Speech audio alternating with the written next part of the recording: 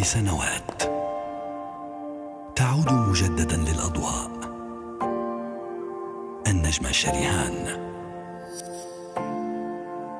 قريبا على شاهد في اي بي